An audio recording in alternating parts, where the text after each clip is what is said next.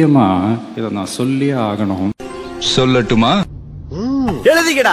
Love பண்றவங்களுக்கு தன் lover தான் ஃபிகர் ஆனா லவ் பண்ணாதவங்களுக்கு ஃபிகர் எல்லாம் லவ்வர் அதனால சைட் அடிங்க சந்தோஷமா இருங்க.